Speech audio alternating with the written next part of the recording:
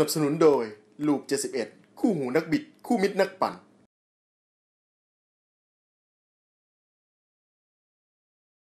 เอ็กซ์ปีดศูนย์บริการตกแต่งรถจักรยานยนต์มาตรฐานแบบครบวงจร โทร 0879999653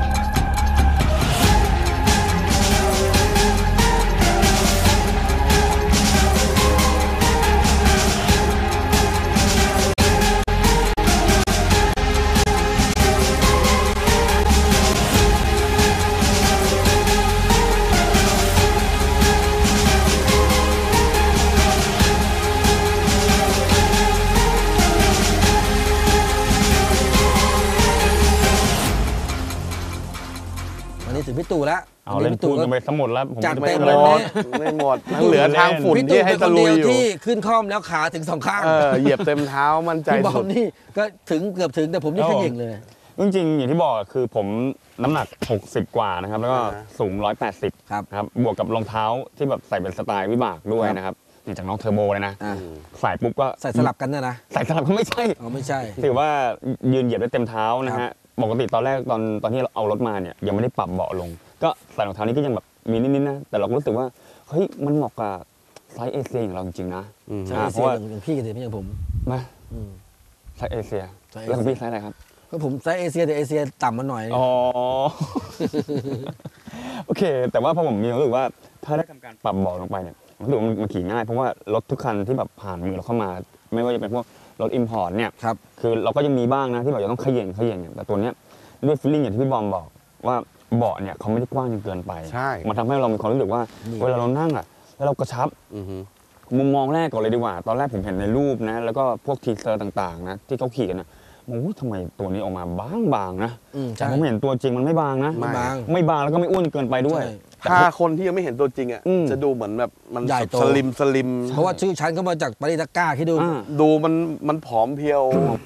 แต่ว่ามาเห็นตัวจริงก็ก็ไม่ได้ถือว่าไม่ไม่ได้ผอม ถือว่าไม่บางหรือว่าแล้วก็บึกบึนไม่ไม่อ้วนจนเกินไปนะใช่ ถือว่าเหมาะสมนะครับ แล้วก็อืมในเรื่องของการออกแบบท่านั่งอะไรต่างๆนี่นะผมว่าตอนแรกเนี่ยผมไม่ผ่านละเรื่องเรื่องแบบไซส์เอเชีย ซึ่ง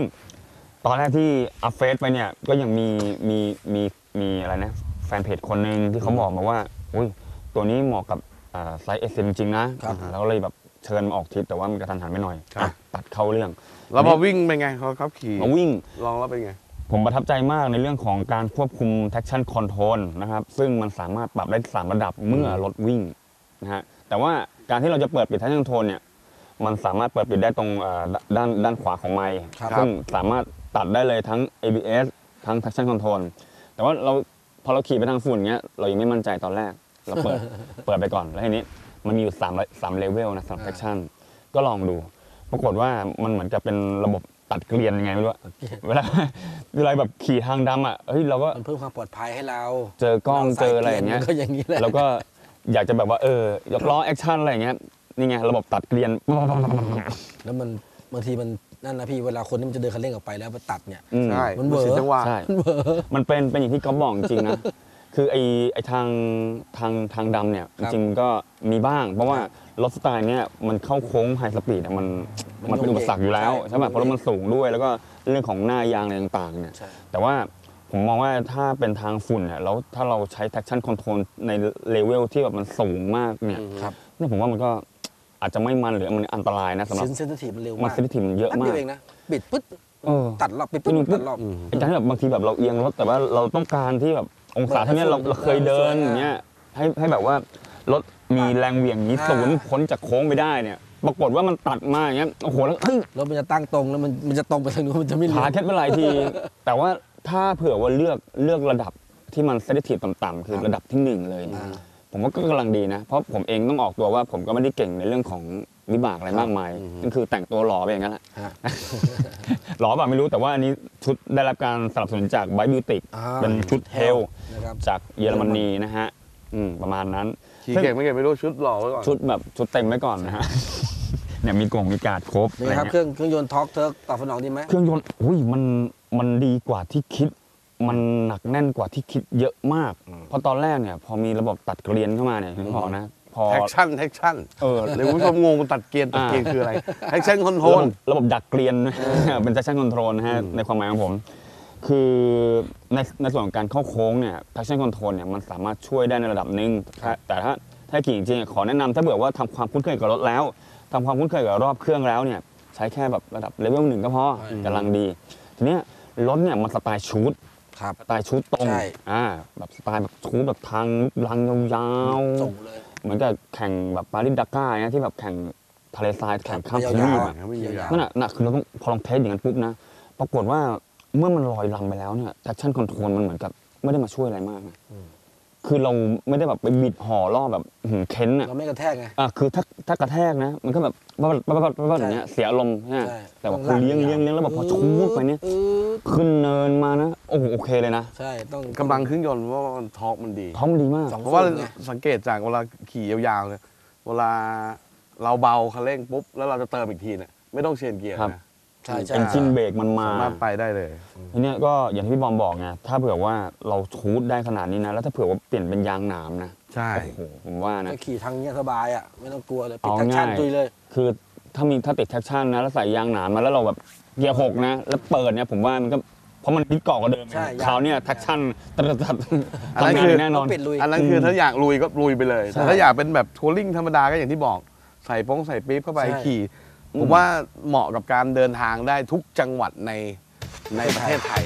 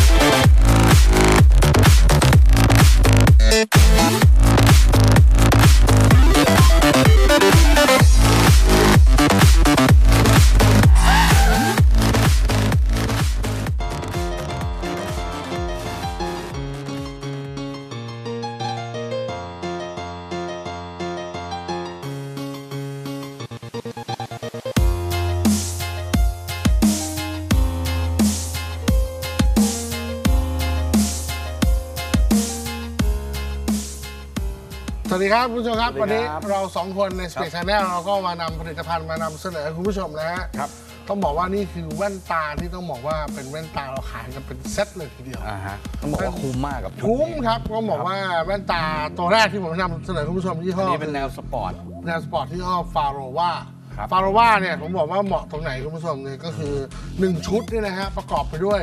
โครงแว่น 2 อัน ตัวแว่นเนี่ยมี 2 อันอ่า ในในหนึ่งกล่องนะครับ นะครับ มีเลนส์ให้เลือกถึง5เลนส์ครับผม นะฮะ อย่างที่ผมชอบตัวนี้ก็เพราะว่าอย่างตัวนี้เป็นเลนส์แบบ polarizedใน1ชุดก็จะมีตัวนี้ที่เป็นเลนส์ polarized นะครับ อ่าแล้วก็ เวลาที่เรา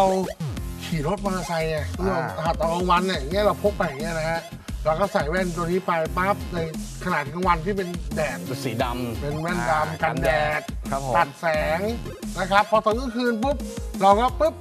เก็บแว่นตัวนี้หยิบ สีเหลืองขี่รถกลับบ้านเนี่ยสบายจริงๆ ความพิเศษของตัวนี้คือสามารถเปลี่ยนเลนส์ได้อย่างง่ายได้ครับอ่า เปลี่ยนให้ดูนะครับ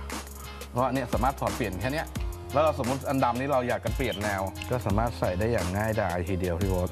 นะครับ แค่นี้เอง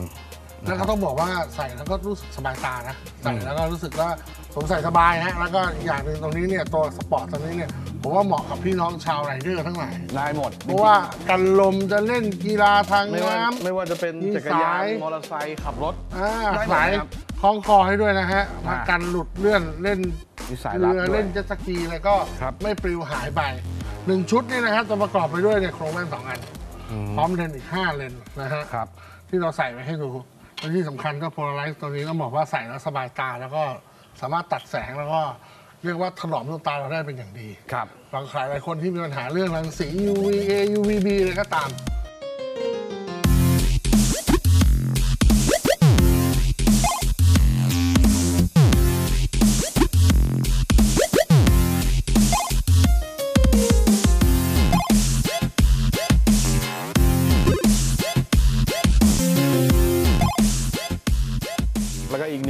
หนึ่งรุ่นครับ Geo One นี่ครับครับผม นี่เป็นแนวแบบดีไซน์แบบแฟชั่น อ่า